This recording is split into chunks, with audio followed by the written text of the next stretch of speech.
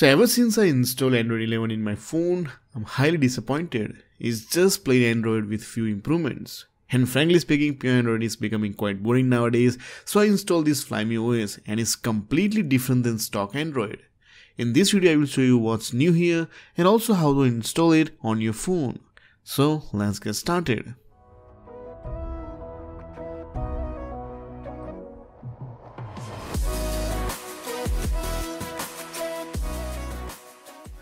You might be wondering what is this Flyme OS. Flyme OS is stock OS of a phone company called Meizu. If you buy Meizu phone, you get this Flyme OS pre-installed. But with the help of developers, now you can install this Flyme OS on other phones. So starting from boot animation is completely in dark mode with flat logo. This version is even more colorful than Flyme OS 7. I would say it's more pleasing. In my opinion, Flyme OS 7 was good but bit boring because of those grey colors. But Flyme OS 8 is more colorful and slightly closer to material design. And as you can see this is Flyme OS 8 based on Android 9 Pie. And I installed it on my Redmi Note 7 Pro. But don't worry, this ROM is also available for many other phones. So this is how the Flyme OS 8 look when you first install it. It might look like MIUI but it's different. And by default you won't get Google Play Store. You have to manually install it.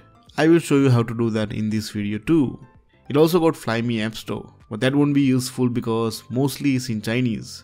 The features and customization in this ROM is just out of the world. Not only you get this different kind of user interface, also you can customize it to your personal level. You can change each and every aspect of the user interface using Flyme OS theme engine. The theme engine is really strong. So I will discuss more about features in my full review. And now I will show you how to install Flyme OS on your phone. So the only requirement is you must have TWRP recovery installed. You can use any other recovery if you want, but for this video I'm using normal TWRP recovery. And make sure from here you watch this video till end because if you miss any steps, you might break your phone. So first of all download this Flyme OS zip file and put that in your internal storage. The download link is in description. And now we are going to boot into TWRP recovery.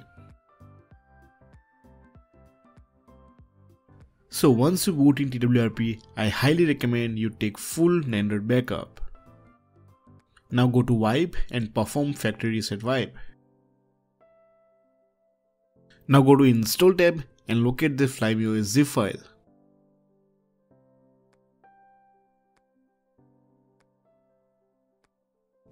Swipe right to install. Now this process might take around 2 to 3 minutes, but we are not done yet, there is one more important step.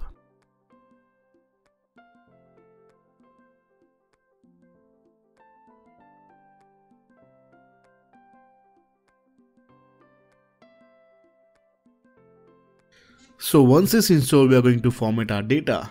For that, go to wipe, tap on this format data tab. Now type yes and press enter. It will start formatting your data.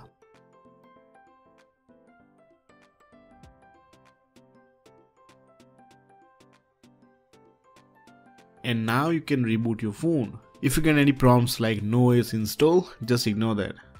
The first boot might take around 5 to 10 minutes. So be patient and don't press any button. And the process is still not complete. Still we need to install Google Play Store because without that you won't be able to install any app.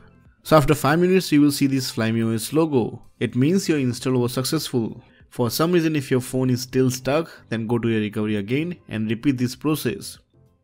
Now let me just fast forward the setup and quickly show you how to install Google Play Store on Flyme OS. So once you set up your phone, go to Flyme App Store and then type Google here. Make sure you only type Google. And then install this first app. Basically this app will install Google Play services in your phone. Once you open that app, just tap here to install Play Store